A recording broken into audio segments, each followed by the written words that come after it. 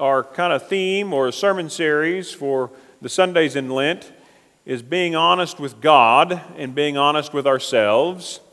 And as we look today, we're looking at this passage where Jesus meets Nicodemus, and that is in John chapter 3, verses 1 through 17. Now there was a Pharisee named Nicodemus, a leader of the Jews. He came to Jesus by night and said to him, Rabbi, we know that you are a teacher who has come from God, for no one can do these signs that you do apart from the presence of God. Jesus answered him, Very truly I tell you, no one can see the kingdom of God without being born from above. Nicodemus said to him, How can anyone be born after having grown old? Can one enter a second time into the mother's womb and be born? Jesus answered, Very truly, I tell you, no one can enter the kingdom of God without being born of water and spirit. What is born of the flesh is flesh, and what is born of the spirit is spirit. Do not be astonished that I said to you, You must be born from above. The wind blows where it chooses, and you hear the sound of it but you do not know where it comes from or where it goes. So it is with everyone who is born of the Spirit. Nicodemus said to him, How can these things be? Jesus answered him, Are you a teacher of Israel, and yet you do not understand these things? Very truly, I tell you, we speak of what we know, and we testify to what we have seen, yet you do not receive our testimony. If I have told you about earthly things and you do not believe, how can you believe if I tell you about heavenly things? No one has ascended into heaven except the one who descended from heaven, the Son of Man. And just as Moses lifted up the serpent in the wilderness, so must the Son of Man be lifted up, that whoever believes in him may have eternal life. For God so loved the world that he gave his only Son, so that everyone who believes in him may not perish but may have eternal life.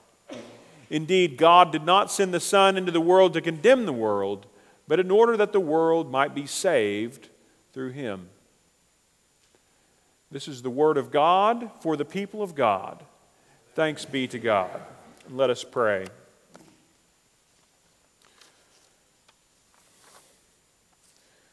Almighty God, we pray to you this morning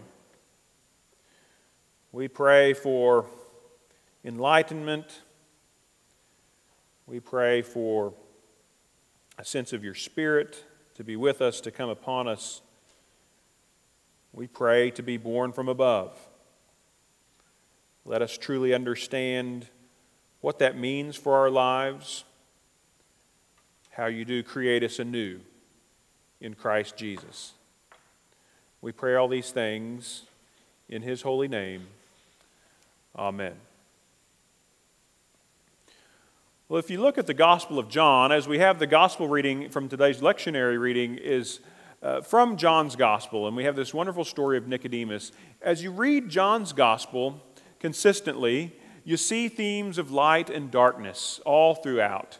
And so you also hear words that clue into these themes of light and darkness, like day and night.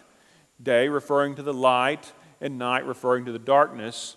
And so, as you see this, we come to understand that the light, of course, refers to what is good and being kind of in God or in Christ uh, when we talk about being in the light.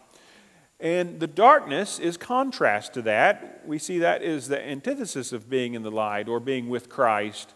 And so it is when evil is done or when we stray away from God's will, we see darkness.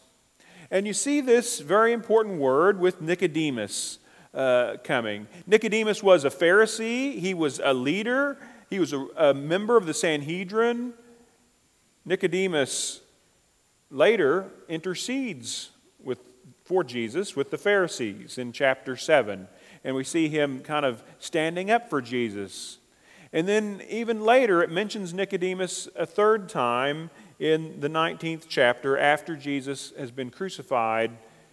And Nicodemus goes with Joseph of Arimathea, whom the Gospels call a secret disciple, to bury him. And it refers to Nicodemus, just like it refers to him here in chapter 3, as one who came to Jesus by night. It mentions that in the third chapter. He's coming to Jesus by night. It may have been difficult for Nicodemus to follow Jesus or really to kind of say, I want to hear what you have to say during the day when others can see him identifying with Jesus, maybe sitting at the feet of Jesus, listening to Jesus. Because Jesus was not all that popular with the Pharisees. Nicodemus seems respectful, he seems curious, but he also plays it safe. He, he wants to play it safe. He believes, and yet he's not sure exactly who Jesus really is. And so he comes to Jesus in the night, not really ready to go public with his interests. He claims that because of the miracles that Jesus has performed, he must have come from God. You must have come from God. And then Jesus begins to share of this concept of being born from above. Classically, we've heard it in many translations uh, as born again and we see what it means to be born again or born from above. And it has a lot of uh, baggage with it in the, from the 20th century and into the 21st century of, of being born again. And yet, this idea that we see anew, that by being born of water and the Spirit, and referring in a sense to our baptismal uh, waters, and the Holy Spirit that we receive at our baptism, that to be born again or born from above, born anew, is something very different. It's a spiritual context that Jesus is talking about with Nicodemus. And Deborah Kapp, who is a seminary professor, she says this about it. She says, Jesus likens the faith of Nicodemus to that of a child still safe in a mother's womb. You must be born again to declare this faith in the light of day. He's not really ready to do that yet born again, born from above, is to look at the world and look at our faith through God's eyes, to begin to see as God sees rather than as we see. Let's take, for instance, the law. We had this wonderful law given by God, and many people followed the law. But if we follow the law strictly because it's a rule and we've got to do it, we're not, in a sense, born from above. We may grumble about it. And we say, well, we got to follow this law. We can't eat that because it says it in the law. We can't do it.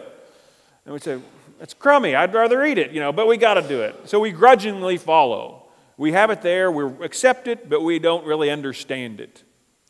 To be born from above is to embrace that law and to see how that law is given for us to really be closer to God, to do God's will and to actually allow God to work through us in this world, in this life, to share the grace of God with all people, to bring others to the light of Christ. If we see the law in that way, it becomes a very different thing for us, and we can embrace it because we understand it fully. That's what it is to be born from above. Let's look at the rules of cleanliness, for example. They were uh, strict about this, this idea of being clean and unclean and the categories, and you could do a lot of things to make yourself unclean. So there's a lot of rules we have to follow. But the idea behind this is that we're taking our faith very seriously. We see God as some other and holy, and we know we're not. And so by following this ritual and the rule and the practice, we are able to somehow set ourselves apart from others in the world and to say, we are intentional about being with God. And it's a very wonderful gift to really be able to take that faith seriously and see that. But when we make the rules so rigid that people who are, would be unable to keep them because of their profession or, or their social class, we're all of a sudden keeping them at arm's length and they are not able to come and be with God. And that's what Jesus is seeing in all of the things he's doing and bringing in all of these people who would be considered unclean. And when we allow the ritual to become the most important part rather than our communion with God, it's we're not seeing the forest for the trees. We're missing out on the bigger picture, the larger idea that God is holy and other, and yet God is coming to claim us. God is coming to claim us. That's the most important part. That's the idea of what all these rules are behind. And so, being born from above allows us to look at these things and see them for what they are, to remember that we are created in God's image and not even sin can keep us from that in Christ Jesus. As we understand this, we are born from above. And we can't embrace this if we continue to come to Jesus by night. Sometimes, as we look at John 3:16, probably the most famous text in all the Bible, uh, for God so loved the world. You know, and I remember growing up when we'd watch football on television. You remember in the end zone, there's always somebody with the John 3:16 holding up a sign. I don't know, I don't guess they do that anymore. I've not seen that in a few years, but I remember growing up, you'd always see somebody in the end zone every, every game holding up John 3.16. And um, I don't know whose job it was to do that, but somebody had that job, I guess, and, and would be out and doing that. And it, it's in a sense saying this is the crucial claim of the Gospels, which who's, who's going to argue with that? Certainly. However, I think that we do it a disservice if we make it all about belief and take away the context of this idea of being born again or born from above and the action that it represents. And we have, if we look at the context, in the lectionary reading, we end at verse 17, but verses 18 through 21 really go with this passage, and I'd like to read them uh, here to you. This is continuing on. Do we have that on the screen? Here we go. This is um, verses 18 through 21. Let's advance it up one. It says, Those who believe in him are not condemned. But those who do not believe are condemned already because they have not believed in the name of the only Son of God. And this is the judgment that the light has come into the world, and people love darkness rather than light because their deeds were evil. For all who do evil hate the light and do not come to the light, so that their deeds may not be exposed. But those who do what is true come to the light, so that it may be clearly seen that their deeds have been done in God. You see, we see here, it's talking about deeds, and we have this theme of light and darkness, and we have to understand that belief leads to right action. It doesn't just mean that, oh, well, we believe, so uh, we're good, God. That's all it's all about. No, it's about how our belief in God to be born from above leads to right action, to look with a broader sense of the vision of how God sees things so that it makes a difference for how we live our lives in the world. But so often, we divorce ourselves from that idea and we think it's only about belief. And when we do that, we're going to Jesus by night. During Lent, it's important for us to examine this issue of when are we going to Jesus by night? When am I doing that? Holding up the mirror and looking at ourselves really firmly, asking ourselves spiritually. That's what this is all about this season, to really examine ourselves before God and say, God, when are we not claiming you as we should? When I was uh, at another church, there was a brother and a sister who were in the youth group, very active in the church, and uh, they started getting their parents to come and it was confirmation time, and so I enrolled them in confirmation. They both decided to come. They and they were good at being there each week and and learning the lessons and those kind of things. The parents were coming some. They were from a little bit different tradition, the Assemblies of God tradition. And at the end of the time, on our confirmation Sunday, they were set, all set to join the church, and the parents were going to join as well, and everybody was, was uh, going to be a part of this. And I asked all the kids, have you been baptized yet? You want to find this out. If they have been baptized, we confirm their vows that they'd taken when they're infants or children. If they had not been baptized, I baptized them. And so when I came to Nick and Nora, I asked their parents, you know, have these children been baptized? Have these youth been baptized? No, they haven't. Now, you're sure they've never been baptized? Oh, no, no, they've never been baptized. Okay, well, we'll baptize them in the service. And so we did, and wonderful confirmation Sunday, big service, had a lot of people there. And at the lunch, we had a nice uh, potluck dinner afterwards, a celebration time. We're all eating together, and I can remember going in the kitchen, and Nick and Nora's Lutheran grandmother came to me, and she caught me in the kitchen, and she looked at me in the eye and she said, You know those kids have been baptized already, don't you? I said, I said, What? no, I didn't. I didn't know. And she said, Oh, yes. They were baptized as infants, and I can't remember the name of the is it Lutheran Church in Enid. And I said, Oh, well, that was not made clear to me, you know, at the beginning of the service. And the, the bad thing was, was that family never darkened the doors again of that church. You see, they were looking at that. The parents were seeing that as that they needed somehow believers' baptism to make it valid, and then everything was great. This idea it's all about just the belief, and if we get that down, it's kind of like we've had it baptized and confirmed, and now they're inoculated against any kind of sin, and they're free to go. You know, you don't even need a booster shot. you know, you're good. And that's going to Jesus by night. It really is. That's an important understanding for us to have that we, we've got to make our faith more consistent. We've got to claim Jesus all the time. A friend of mine is uh, chair of the Board of Ordaining Ministry in a, a different conference from this one.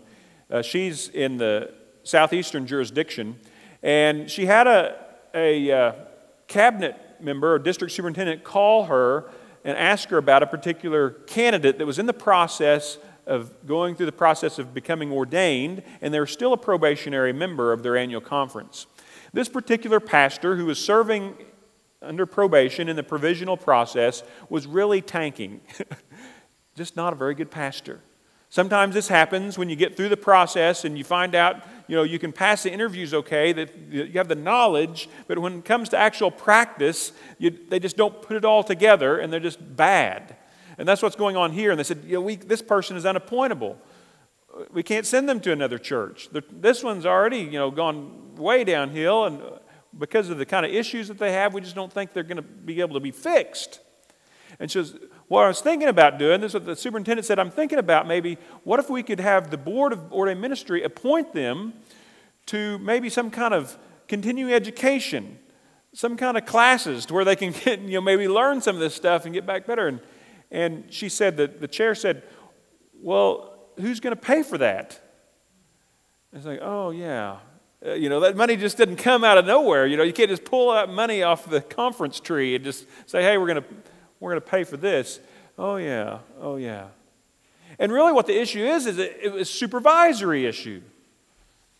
It's the act that the superintendent needs to sit down with that pastor and have a very messy and difficult conversation.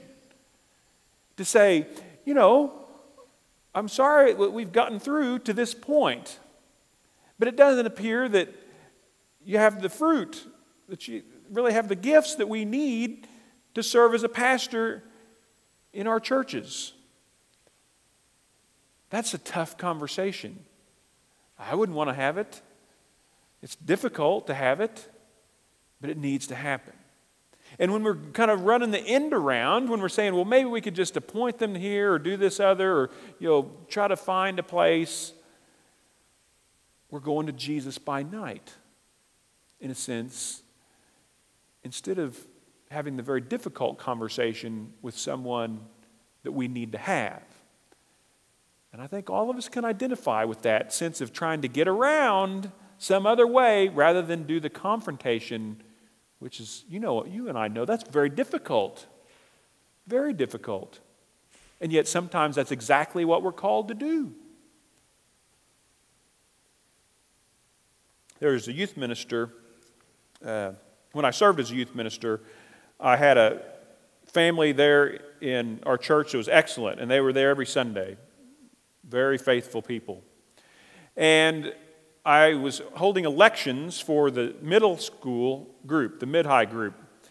And I said, okay, if you're going to serve as president of the middle school group, you've got to come to the elections, and I want you to make a speech, and I want you to tell your qualifications, and I want you to kind of lay out what your plans are, your vision for the youth group for the year. And you're going to share that with the other kids. And then they're going to vote on whichever one they think is right for the job. And that's how, that's how we're going to hold their elections. And so I want you to put some thought into it. Well, this family came to me, and they, their youngest daughter was interested in running, and she would have been excellent. She would have been very good, but she was going to have to miss the elections. And I said, Well, why, why can't you be there? And she said, Well, we've got soccer practice. And I said, Oh, well, well that's unfortunate.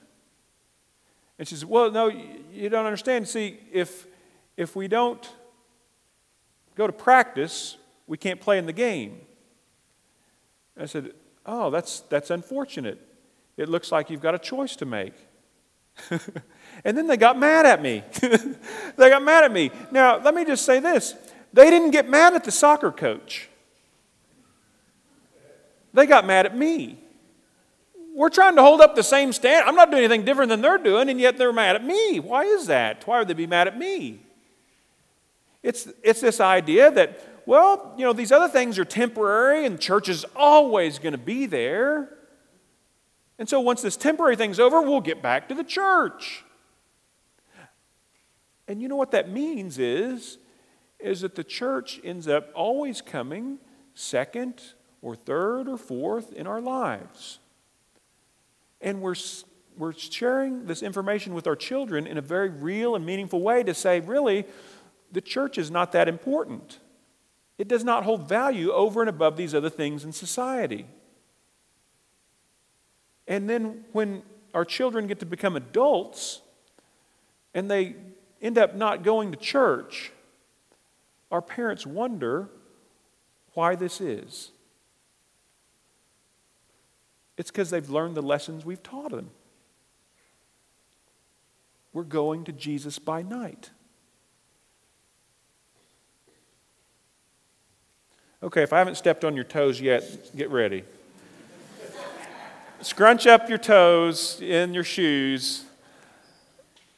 Uh, this next story will get you. If, I, uh, if, you went to Disciple last week, you heard this already. I, I kind of talked about this in Disciple Bible study. It was a story about a pastor who was appointed to a church, and he got to this wonderful little church, and they had a nice flagpole out in the, in the uh, yard, and on it they had the American flag up and then right underneath the Christian flag. And so when the pastor got there, he took the flags down and he reversed them. And he put the Christian flag on top and then the American flag and put them back up the pole. Now, do you know anything about flag etiquette? Yeah, Jim's like, yeah. What is, is that a no no? That's a no no. Yeah, is it, well, you can't do that. The American flag clearly is on top. That's how it is. That's how the, how the rules we're following the rules. And so somebody got to the church, one of the lay people, went over to the flag, pulling them down, put it back like it should have been, put it right back up, left it there. Well, the pastor sees that. He comes out and he puts them back the way it was. This went on several times, back and forth, going before a conversation ever happened. And finally, they had to confront her. Why do you keep putting the flag? They found out as a pastor. Why do you keep putting the Christian flag? The American flag has to go on top. And he said, Well, you know, it just seems like this is a kind of a important thing to talk about our values. You know, what do we really value here as the church? Which one is the most important as the church? Well, you know, flag etiquette says the flag, the American flag, has to go on top. And the pastor said, Well, yeah, but the Ten Commandments, they say, have no other gods before me. Which one do we hold as more important? Are we setting the President of the United States above Jesus? Woo. That's difficult. You know, these kind of ideas, as we think about it, it just that story just kind of gets us just to think. What do we really value? What do we hold true? How are we going to Jesus by night? You know, a lot of us look at that and we, hear that story. Nicodemus is coming at nighttime. He didn't want the other Pharisees to know he's coming to Jesus. it's easy to throw stones at Nicodemus until we start to look at ourselves.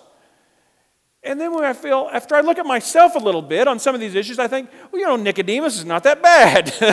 and he eventually did come around. Am I really embracing my faith by living it? When I claim, I claim to believe in Jesus, I claim to be a Christian, we are, wear crosses and all these things, but do we really embrace it? Are we born from above? Are we born again? Nicodemus, unsure at first, later came to kind of help Jesus out, and then finally ends up helping to bury our Lord after the crucifixion. The fact that he's referenced three times in John's gospel indicates to me that Nicodemus was known by the early church lifted up in a sense as one of the eventual leaders of the early church, finally did come to walk in the light, to come to Jesus during the day. May you and I repent of those times when we haven't fully claimed Jesus. And may we know what it is to walk together during the day, in the light, together as the body of Christ. And may the world see our action and take notice. Amen.